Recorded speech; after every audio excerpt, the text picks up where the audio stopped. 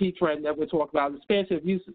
Food and agriculture are popular use for digital PCR. Traditionally, PCR has been a bit of a challenge for where things because the sample prep is a ton of a pain. You always want to have to deal with inhibitors, especially with food where what is safe to eat might not be particularly PCR friendly, so you have to do a lot of manipulation of samples just to get it to work. With digital PCR, you you know the issues with inhibition, all sorts of other compounds interfere with the PCR reaction are reduced, so that creates less of an issue with sample prep.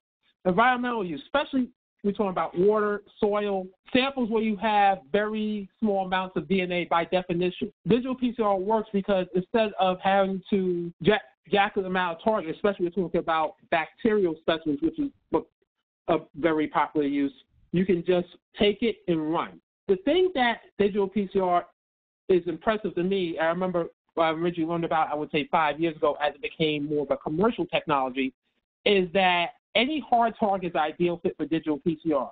Anytime you have purification issues, inhibition issues, low amount of target, digital PCR tends to do that particularly well.